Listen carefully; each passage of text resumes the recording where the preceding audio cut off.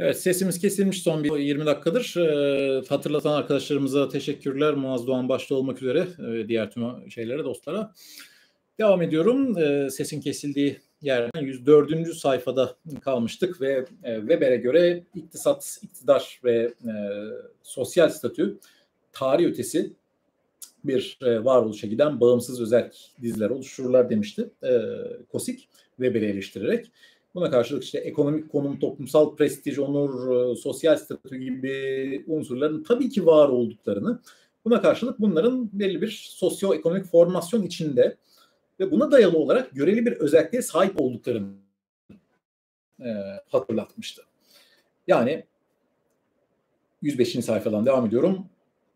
Servetin bölüşümü, iktisat, dar anlamda iktisat diyelim. İktidar hiyerarşisi ve yapısı, iktidar, sosyal statünün derecesi, prestij. Bunların hepsi verili bir gelişim döneminde bir toplumsal düzenin ekonomik yapısından doğan yasa benzeri ilişkiler tarafından belirlenirler. Yani bir toplumsal düzenin ekonomik yapısından yasa benzeri ilişkiler doğuyor ve bunlar dar anlamda iktisat, iktidar ve prestij gibi toplumun çeşitli unsurlarını belirliyor. Bu dıştan bir etmen olma değil, içeriden belirleme demiştik. Eninde sonunda hepsinin birden aynı toplumsal formasyonun birer parçası e, olduğunu hatırlamamız gerekiyor Kosik'e göre her seferinde.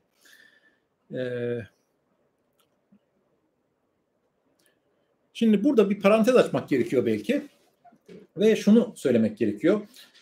Kosik ekonomik yapı derken, toplumsal formasyonun ekonomik yapısı derken biraz bizim kafamız karışabiliyor. Neden? Ekonomi, iktisat kavramları artık belki de kafamızdan pek de şey çıkmayacak bir şekilde o dar anlamda iktisatla özdeş bir şekilde anlaşılmaya başlandı. Yani mikro makro derslerinde gördüğümüz türden bir iktisat ile e, ekonomi burada Kosik'in ekonomik yapı dediği şeyi biz kafamızda çok karıştırmaya e, meyyaliz.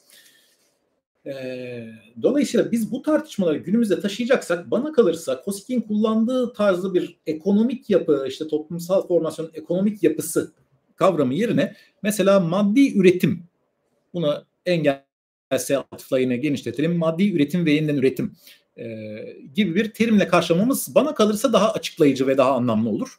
Çünkü e, bunu yapmazsak her seferinde e, ekonomiden dar anlamda ekonomiyi anlamıyoruz. İşte bir ekonomik belirlenicilik e, çoğu zaman Marksizme yap, itham edildiği şekliyle yönetilen itham e, gibi bir ekonomik belirlenicilik değildir. İşte başka bir şeyden bahsediyoruz diye özel bir açıklama yapmak zorunda kalacağız defa defalarca. Buna karşılık üretim kavramı tabii ki yine bir takım dar anlamda iktisadi çağrışımları olan ama günlük kullanımda da bununla sınırlı olmayan bir e, kavram üretim.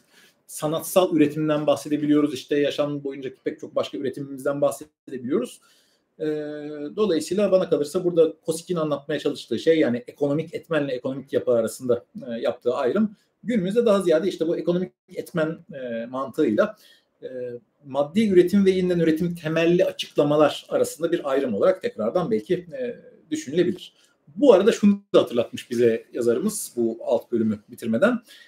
E, bütünlük konusunu tabii hep gündeme getiriyoruz burada e, dönüp dolaşıp. Ekonomik yapı tarafından, işte, işte maddi üretim tarafından oluşturulan toplumsal gerçekliğin birliğine yapılan vurgu somut bütünlük değil de soyut bütünlük olarak anlaşılırsa orada bir tehlike ortaya çıkar ve bu tabii ki bilimsel araştırmaya bir engel teşkil eder demiş. Bu da önceki sayfaların bir hatırla, hatırlaması aslında. Çeşitli bütünlük türlerinden bahsetmişti.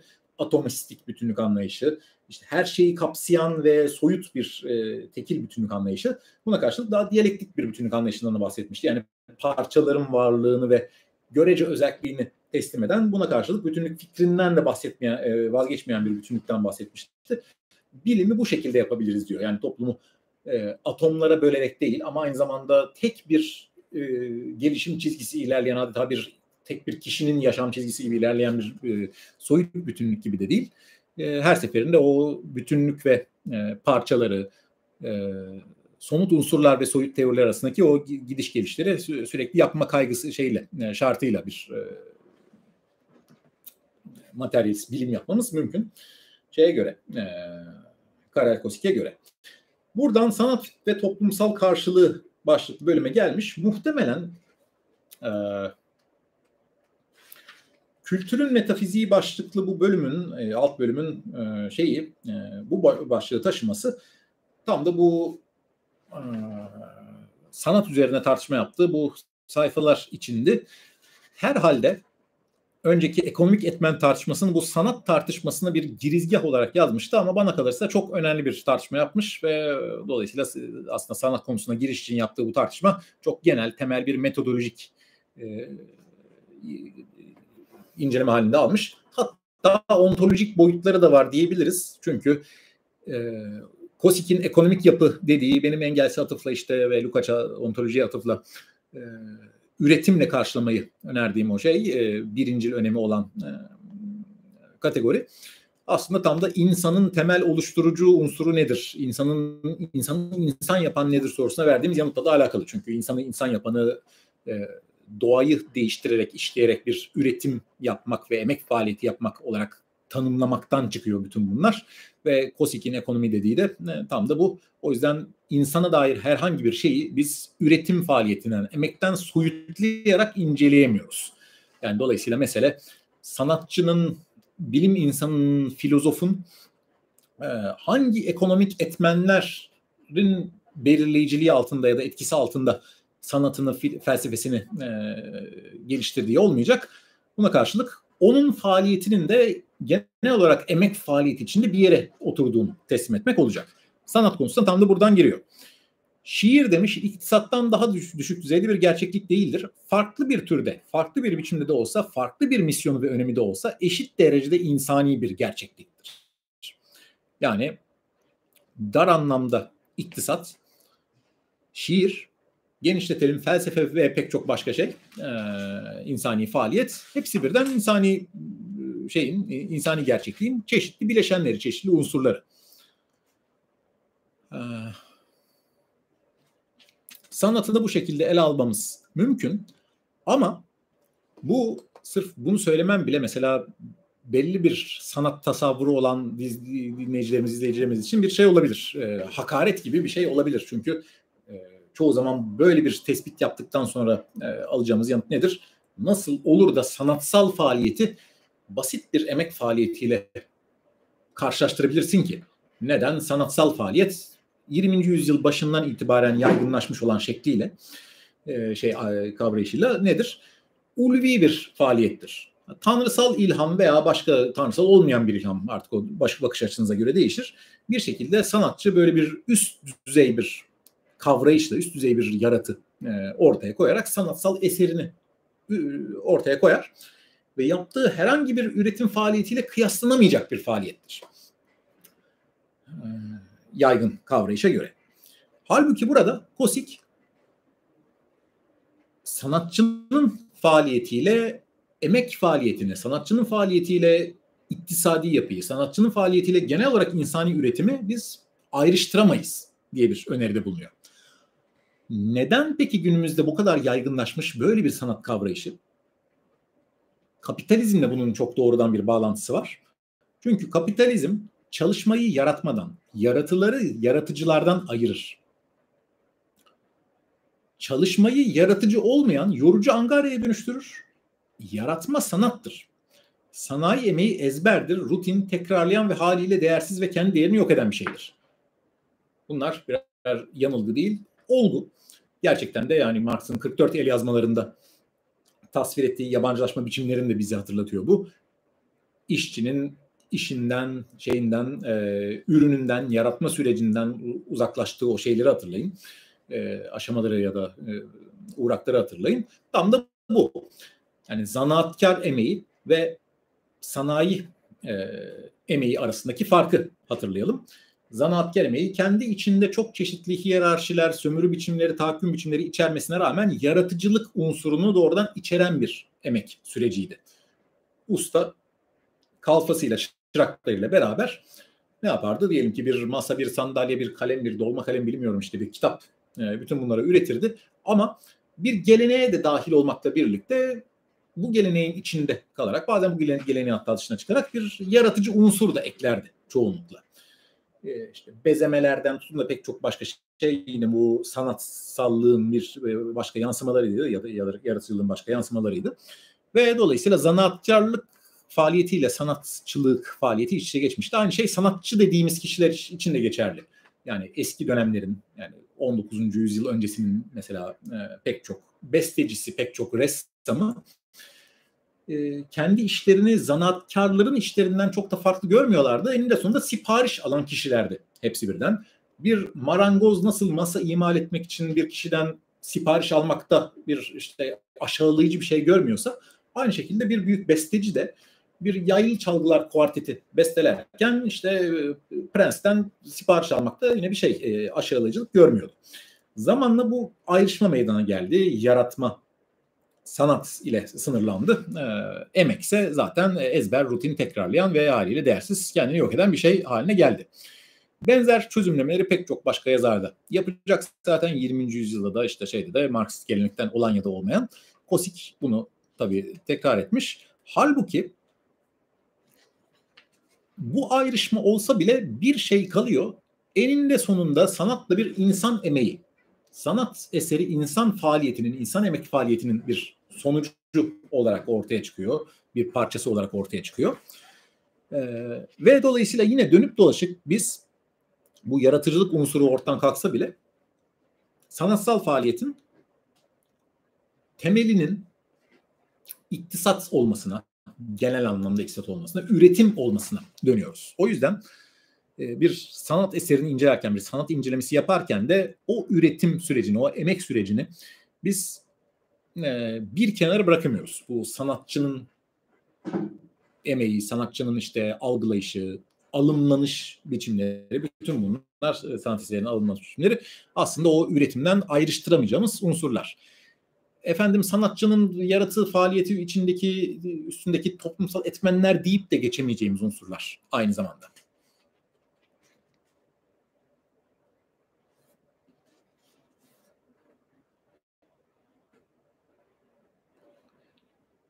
İnsanın çeşitli ürettiği şeylerden bahsetmiş 112. sayfada. İnsan maddi mallar üretiyor. Toplumsal ilişkiler ve kurumlar toplumsal koşulların toplamı. Ve bunlara dayalı olarak fikirler, duygular, insan nitelikler ve bunlara karşılık gelen insan duyguları üretiyor. Bütün bunlar bir üretim faaliyetinin çeşitli uğrakları aslında farklı veçeleri.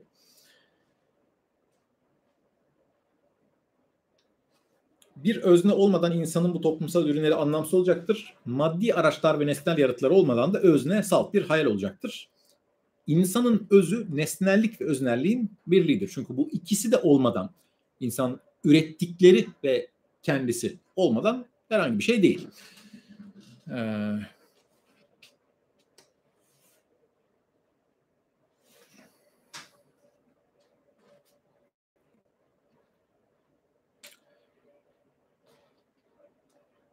bütün bunlardan hareketle şunu söyleyebiliyoruz. Sanat eserleri üretilen şeyler, her seferinde bunu hatırlamamız gerekiyor. Gerçek insanlar tarafından üretilen şeyler, etten kemikten insanlar tarafından diyelim. Maddi mallar, çalışmaya dayalı maddi duyumsal dünyanın üretildiği bir ortamda üretilmiş. Çoğu zaman kendileri de maddi mal statüsünde zaten bunlar.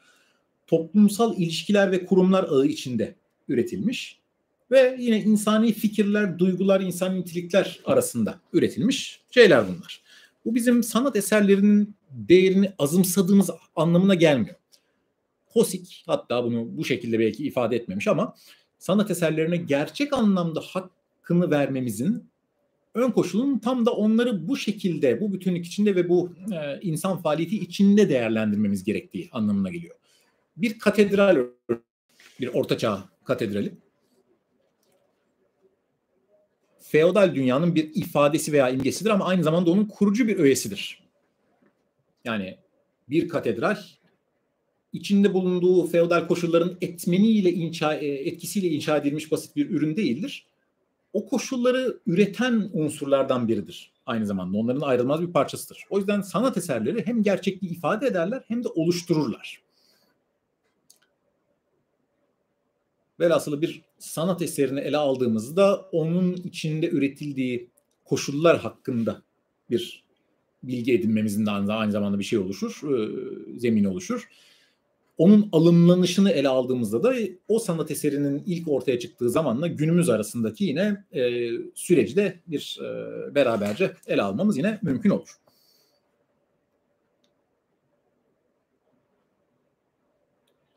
Sanatın büyüklüğü de aslında tam da buradan kaynaklanıyor. Gerçeklik kendini insana büyük sanatta gösterir. Sözcüğün tam anlamıyla sanat aynı anda hem gizemden arındırıcı hem devrimcidir. Çünkü insanı gerçekliğe dair fikirlerinden ve ön yargılarından uzaklaştırır ve gerçekliğin kendisine ve hakikatine yöneltir. Bu sanatçının ulvi bir misyon yönelmesinden işte bizi mağaradan çıkarıp da bir işte şey idealara ulaştırmasından falan kaynaklanmaz. Sanatçı burada tabii şey e, ayrıntılı olarak girmediği bir şey. Bir dünya yaratıyor ama o dünyayı bir bakıma kendi suretinde yaratıyor yine. Kendi içinde bulunduğu dünyanın suretinde yaratıyor. O yüzden o yaratıyı biz inceleyerek aslında o sanatçının içinde bulunduğu dünyayı da görmüş oluyoruz sanatçının gözlerinden. Ee,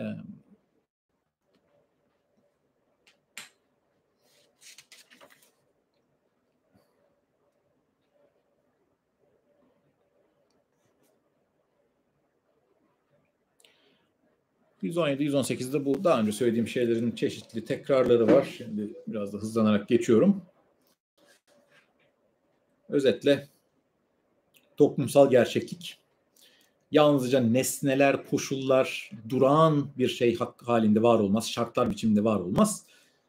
Ee, kendini oluşturan insanın nesnel etkinliği şeklinde var olur. Her seferinde ilgimizi etkinliğe çekiyor ve her seferinde toplumsal gerçekliğin durağan, sabitlenmiş, işte ayrışmış kompartmanlarla beraber e, var olan bir e, sabit bir şey olmadığını, e, toplam olmadığını ve bir süreç olduğunu, nesnel bir e, insan etkinliği olduğunu bize hatırlatıyor. Yani biz ve bizim gibi insanlar dinamik faaliyetleriyle bu gerçekliği yaratıyorlar aslında. Ama zamanla onu unutup sanki birer her zaman var olan nesneymiş gibi görüyorlar toplumu. Marx'ta, Lefebvre'de pek çok başkalarında nesneleşme, nesneleştirme diye adlandırılan şey. Yani insan yapımı olan şeylerin insan yapımı olduğunu unutulması ve insan dışında sanki her zaman var olan bir şeylermiş gibi e, görülmesi. Sanat da tam da böyle bir şey. Yani toplum, sanat e, hepsi birden aslında bizim insanın nesnel etkinliği sonucunda oluştuğunu hatırlamamız gereken e, şeyler.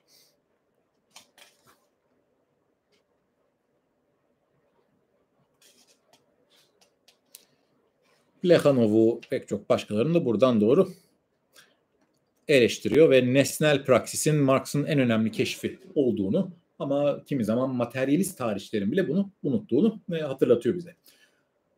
Ee, tabii buradan hareketle nasıl bir sanat tarihi yazılabilir? Yazanlar da olmuştur ee, iyi şey materyalist perspektiften sanat tarihi e, yaklaşımları. En baştan şey şematizmini bir aşmak gerekir. Yani bir mesela sanat eserini incelerken içinde doğduğu koşullar işte yazarın biyografisi diye böyle ayrı ayrı şeylere yer verilir yani ansiklopedilerde veya bazen tezlerde başlıklara. Genişletelim isterseniz e, felsefe işte tarihsel bağlam yazarın yaşamı ve eserleri diye başlayan ondan sonra bir metnin e, ayrıntılı incelemesiyle devam eden felsefe sözüm ona felsefe incelemeleri. Böyle bir şey bizim için mesela yeterli olmayacaktır Kosik'e göre. Çünkü tam da bu şematizmi yeniden üretiyor. Bir tarafta koşullar var. Sanat eseri veya felsefi eser üzerine etki eden. Ee, bir tarafta yazarın yaşam öyküsü var. Yine o eser üzerine etki eden. Halbuki burada şunu unutuyoruz. O toplumsal e, koşulların koşullar dediğimiz şeyin bir parçası. Koşullar sabit değil ki sanat eserine doğrudan dışarıdan bir e, şey yapsın, e, etki etsin.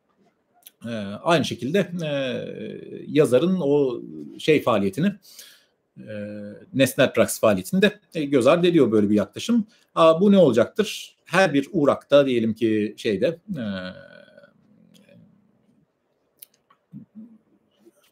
ister eseri ele alarak başlayalım, ister e, yazarın yaşam öyküsünü ele alarak başlayalım. Bu karşılıklı etkileşimleri, o nesnel praksis boyutunu sürekli olarak dikkate alarak e, bir e, incelemeyi yapmayı gerektirecektir. Sonraki bölüm zaten bunun metodolojisi hakkında bir e, fikir veriyor. Tarihselcilik ve tarihsizcilik diye çevrilen bölüm. Tahmin edebileceğiniz gibi biri iyi biri kötü olacak. Tarihselcilik iyi, tarihsizcilik kötü diye de bir şey vereyim. e, ipucu vereyim. E, sanat eserleri toplumsal olarak belirlenmiştir. Önceki bölümleri aslında burada özetliyor. E, toplumsal gerçeklikle içsel ilişkileri vardır diyor 125. sayfada. Ve tabii ki bunlar aynı zamanda bu toplumu incelemek aynı zamanda o toplumun tarihsel gelişimini de incelemek olduğundan bir zamansal tarihsel gelişiminde bir e, şeydir. E, parçasıdır ve sonucudur. Peki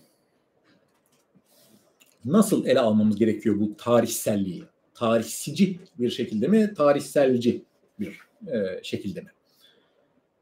E, Şimdi burada yazarın verdiği yanıt şu. Aslında iki değil üç seçeneğimiz var. Yazara göre. Yani 128. 8. sayfadan itibaren bunları anlatıyor. Biri bu sanat bahsinde bahsettiğim türden bir tarih üstücü veya özcü e, bir yaklaşım. Yani sanat eserleri, genişletilmiş de felsefe, düşünce eserleri koşulların üstündedir, toplumun üstündedir, tarihin de üstündedir demek.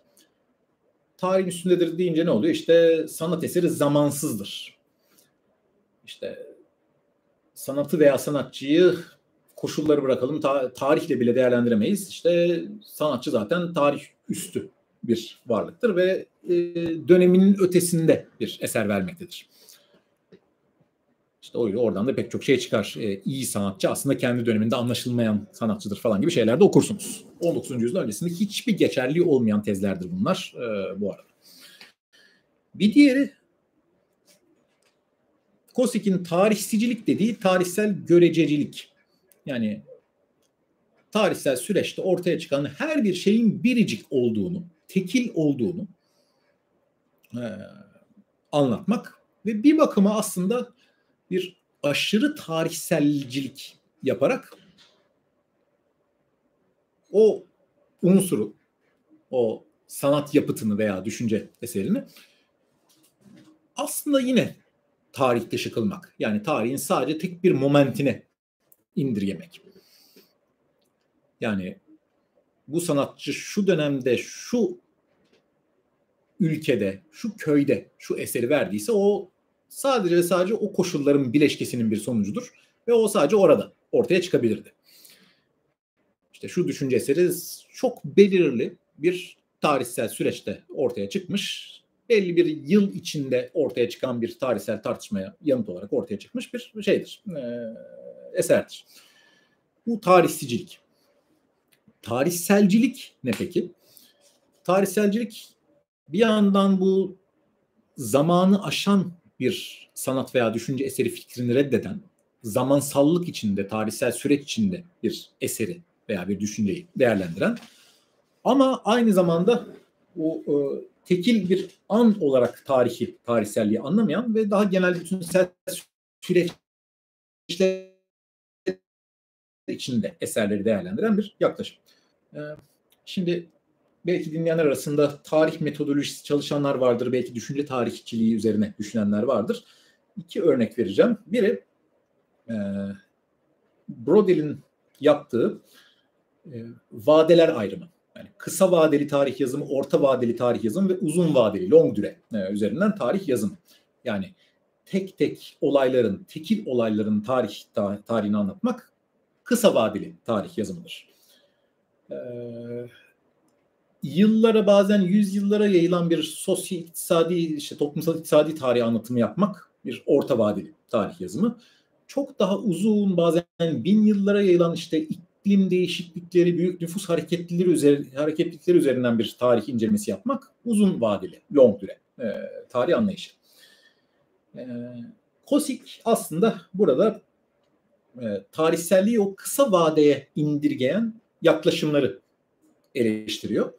Ve bize önerdiği sanat eserlerinin tekil unsurlar, işte tekil ya da belli şartlar bileşkelerine yanıt olarak ortaya çıkan şeyler olarak eserler olarak ele almaktan vazgeçelim.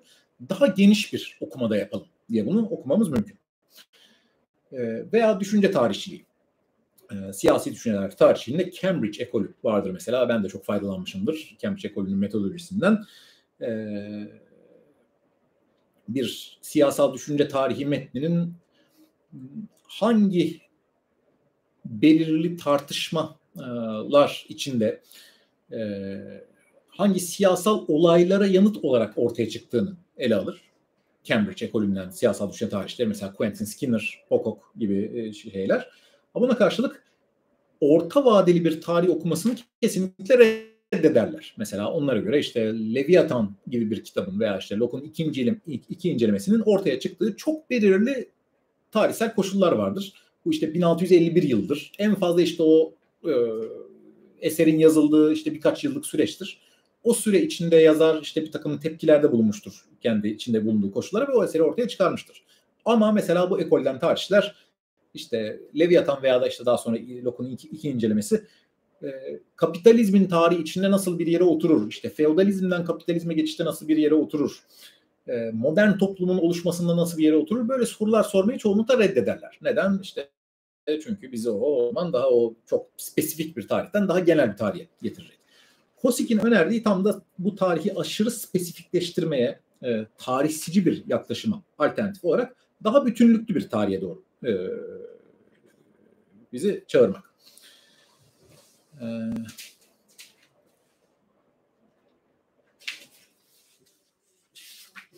Peki bütün bunları yaptığımızda ne anlıyoruz?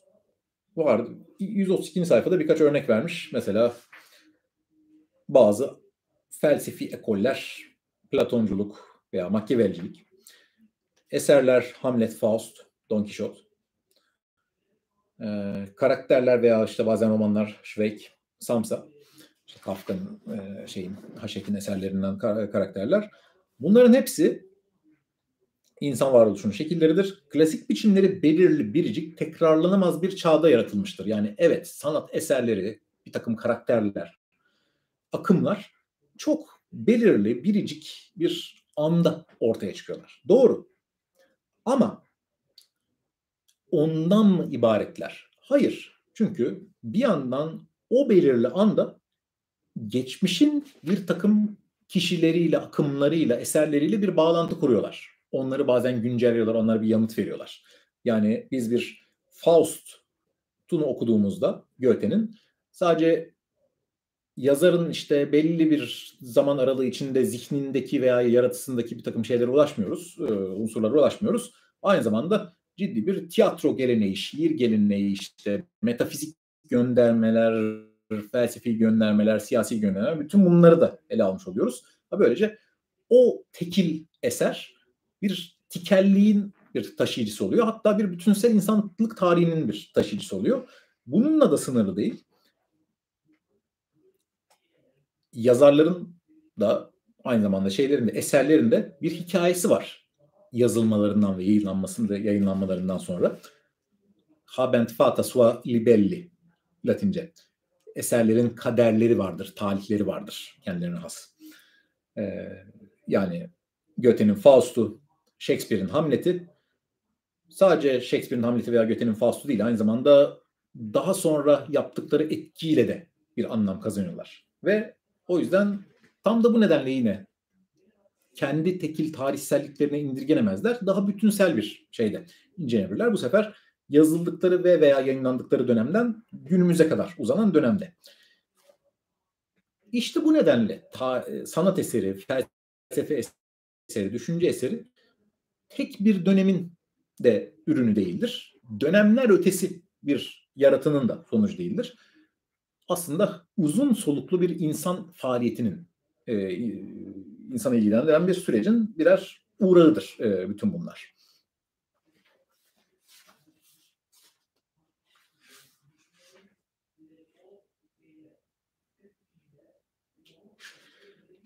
Bölümü bu arada ilginç bir şekilde bitiriyor. Orta Çağ dünyası kör ve diğer kültürlerin güzellik ve hakikat ifadelerine kapalıyken modern dünya görüşü bunun aksine evrenselliğe en farklı kültürlerin ifadelerini soğurma, algılama ve takdir etme yetisine dayalıdır. Ee, yani sadece orta çağ değil, köleci toplumda da e, benzer sorunlar olduğunu söylüyor. Yani bir bakıma günümüz için bir iyimserliği var. Yani köleci toplumda ve orta çağda sınırlı bir bakışımız vardı e, şeye e, kültürlere, sanat eserlerine ve pek çok başka şeyler. Günümüzde bu ihtiyaç duyduğumuz o evrenselliği kavrama e, imkanlarına sahibiz diye bitirmiş. Çok da ayrıntılandırmamış. Tartışılabilir tabii yani eski dönemlerde kısıtlı olduğu konusunda ben de hemfikirim ama günümüzde bu kadar böyle işte şey e, o evrenselliğe doğru açılma, farklı kültürlerin ifadelerini soğurma, algılama, takdir etme yetisi gerçekten de var mıydı? Burada tabii bir yandan da 1960'ların şeyine bakmak lazım. Ee, Doğu bloku düşünce hayatına bakmak lazım. Ee, bu genelde unuttuğumuz bir şey. 60'larda mesela bu felsefe tarihçiliğinde çok belirgindir e, aslında. Mesela Sovyetler Birliği'nde 60'lı yıllarda yazılan felsefe tarihi kitaplarına bakın. Tam da böyle bir işte evrensel e, dünya çapında bir tarih yazma çabasına e, rastlarsınız. Bir bütünlüklü düşünce tarihi çalışması yapma çabasına rastlarsınız. Belki öyle bir tarihselliğin sonucu olarak ortaya çıkmıştır bu iyimserlik. Çünkü yani günümüzde bunu okuduğumuzda bir modern dünya görüşü övgüsü biraz da tabii modern dünyayı da batı dünyasından ibaret gördüğümüz için e, sanki şey övgüsü gibi okuyabiliriz bunları. E, batılı insanın bütün dünyaya bakma çabası ve dolayısıyla bir tür yeni oryantalizm gibi okuyabiliriz ama belki de öyle değildi. Bu tabii KOSİK uzmanlarının benden daha iyi verebileceği bir yanıt. Ee, KOSİK uzmanı arkadaşlara topu atayım. Ve şimdilik bitireyim. Noktayı koyayım. Sorularınız varsa bildiğiniz gibi çok çeşitli kanatlar, kanallardan bana iletebilirsiniz.